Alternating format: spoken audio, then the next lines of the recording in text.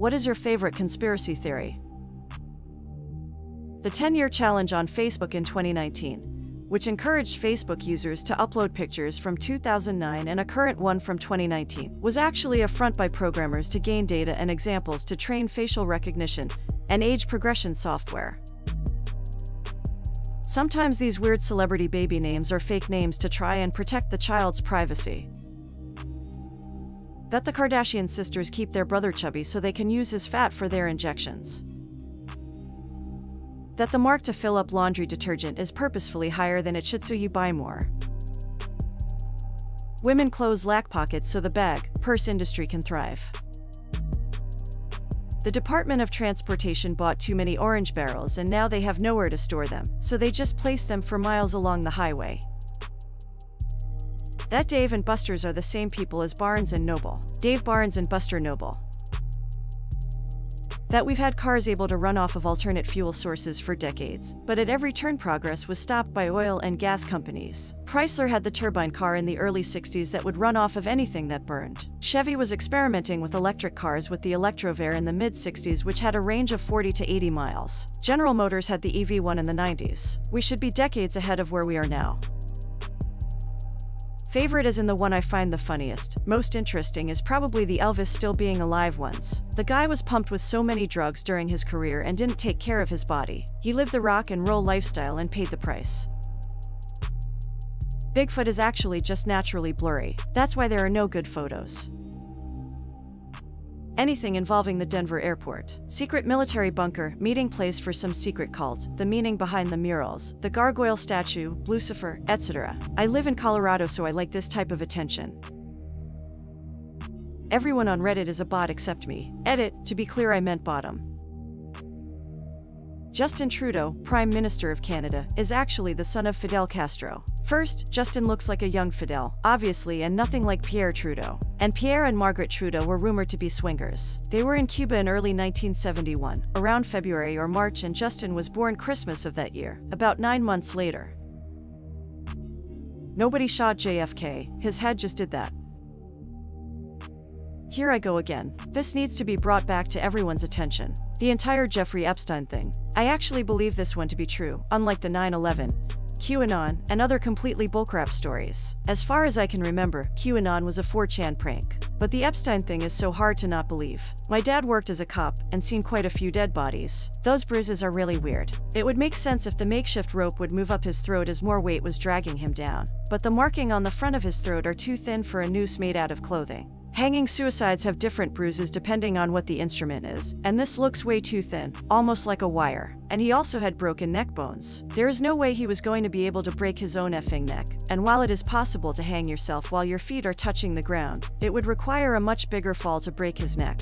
Plus, why the F would the cameras not work in that exact moment? Why wasn't he under constant in-person supervision just in case, when they clearly knew that he could have possibly been a high-value target for some people? He got a good deal for the name list, and he just happens to kill himself right before he is supposed to give it in. Maxwell better have an armed guard on her at all times. Makeup ruins the skin, making women use more makeup until it becomes an endless loop. The true conspiracy against stevia. The sugar lobbyists managed to get stevia outlawed decades ago in the United States with false, and negative press. The stevia plant is up to 100 times sweeter than sugar, zero calories, doesn't rot teeth, all natural and lowers blood pressure. It could replace sugar in all soft drinks and make people healthier, but the sugar companies still have a huge hold on the market and they pay off politicians. Tissue boxes make dust come out when you pull a tissue so that you sneeze more and use more tissues.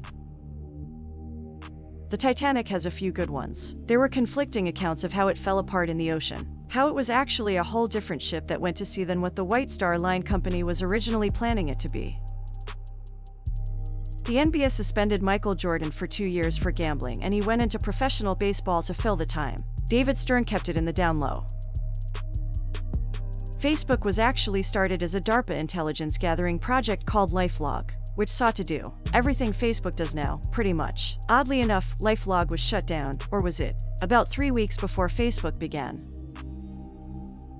The Loch Ness Monster is the ghost of a dinosaur. Edit, if I get an effing whale penis in my notifications one more goddamn time, I'm gonna lose it. I promise y'all someone else has already said it. Edit 2. Everyone who was being creative understood the assignment. Good work, team. Hit the showers.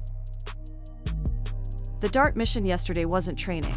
NASA actually saved Earth by that asteroid collision. NASA hired Kubrick to fake the moon landing, and he was such a perfectionist director the only way to satisfy him was to stage the hoax on the actual moon. That PETA is a fake virtue signaling group that's purpose is to make animal activist groups look insane and stupid. Run by companies who profit off animals, the food industry and companies that test on animals.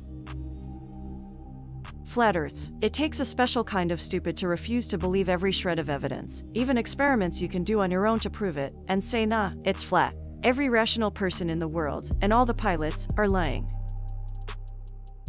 Hitler escaped to Argentina. Celebrities don't get married for love, it is all just business deals and transactions on how it benefits both parties. The government has been in contact with aliens and are operating in the deep depths of the ocean, and Antarctica. Yuri Gagarin wasn't the first man in space, he was just the first man to come back alive. JFK shot first. Last Thursdayism. The basic premise is that all of existence spawned into being last Thursday exactly as it is, including what you believe to be memories. You are just a Sims character, being told what to do by some random player. All of the genealogy websites are a government ran program, and the real purpose is to have a database for solving crimes. They knew that there would be no way to have people willingly give over their DNA for that purpose, so they used genealogy as motivation for people to give up the goods. We also paid for it, so it's a double win for the Gov. Rocks are soft until you touch them. William Shakespeare never existed. His work is the greatest collection of ghostwriters in human history.